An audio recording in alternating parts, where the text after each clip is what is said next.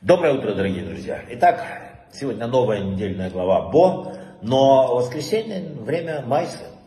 Э, знаете, интересно посмотреть как э, мы живем, люди всегда они думают, что вот если я чуть-чуть потрачу время, кому-то помогу, что-то сделаю там, или э, получу что-то, или пойду, проду... короче, двигаюсь духовным, я потеряю материальным. Как же, если я вот не пошел на работу там, на, на лишнюю там какую-то, то я не заработаю. Это не так. Сверху все расписано, и все в руках э, того, кто наверху. Расскажу Майсу, я много лет назад рассказывал, сейчас повторю.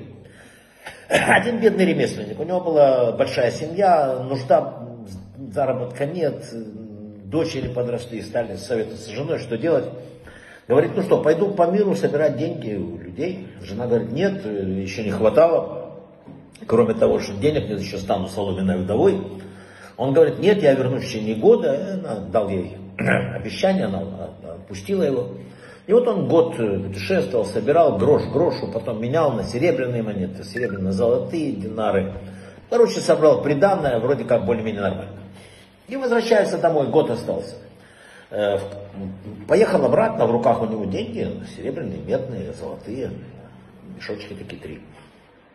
В канун субботы, перед тем, как кончилось условленное время, он оказался недалеко в городе по соседству с его поселением. Спросил, у кого можно провести субботу, ему сказали, вот человек хорошо, э, там, богатый человек, э, шабаты делает, он пришел к нему, э, с радостью принят, дал ему комнату, сказал, пожалуйста, суббота приближается, а что делать с деньгами? Они всегда были при нем, а потом он прятал их всегда в тайное место, но здесь чужой дом, гости другие, хозяева, я знаю, там, ни в ком не уверен.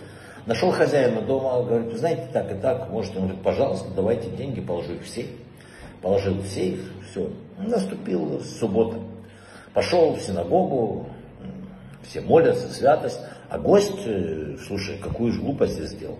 Ведь деньги, которые я собрал целый год, я отдал какому-то чужому человеку, ни расписки, ничего.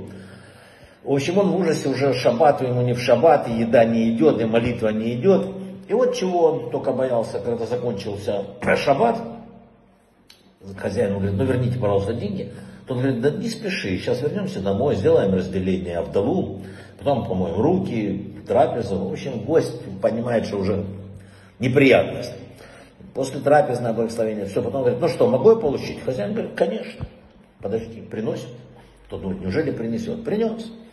Вернулся с тремя узелками, положил, гость просияло лицо, открыл один узелок золотой, смотрит, посчитал, взял, высыпал золотыми динарами на глазах хозяина, чтобы тот не мог отрицать, посчитал, все сошлось. Ну хорошо, думает, хотя бы так хорошо. Серебряные монеты быстро высыпал, читает, все в порядке. Потянулся к третьему пакету, и тут хозяин раз почувствовал удар по руке. Смотрит на хозяина. Хозяин говорит, слушай, ты что думаешь, я ничего не видел? Ты видел, вчера ты угнетен был, думал, что я твои деньги украду. Ты подозревал меня в воровстве. Когда я тебе вернул золотые монеты, ты начал их лихорадочно пересчитывать.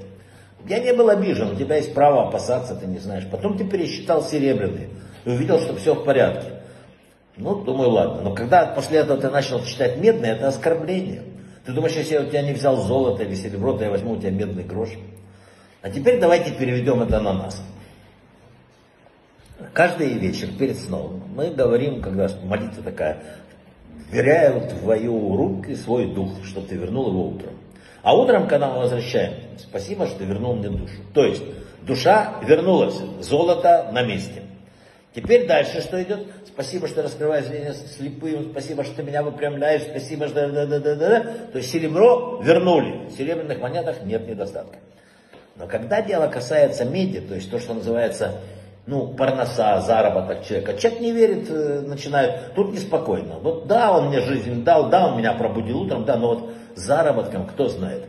И вот э, в благословении Коина говорится, благословлю вас, благословить тебя, Бог охранит тебя, озарит тебя. То есть он, э, мы все время говорим о Боге, что Бог дал, Бог, ну, надо понимать, что ничего человек сам не получает. В Рошашана решено, сколько ты заработаешь. И ничего ты не поменяешь. И э, написано, что э, мы никогда не потеряем, если мы попробуем что-то хорошее сделать, увеличить духовность, потратить какое-то время для других. Ты это не потеряешь, потому что у Бога все в руках, а Он только улыбнется. Надо верить Богу, потому что если мы сейчас слушаем этот урок, значит золото он нам вернул. Чего же беспокоиться о медиа? Брахава от слаха.